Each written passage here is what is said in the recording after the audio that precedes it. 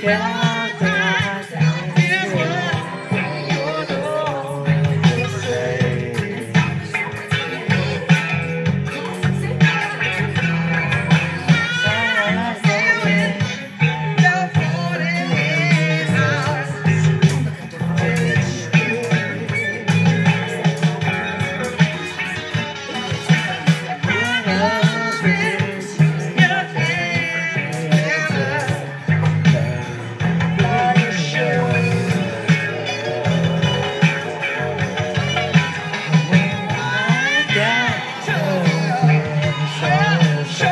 promises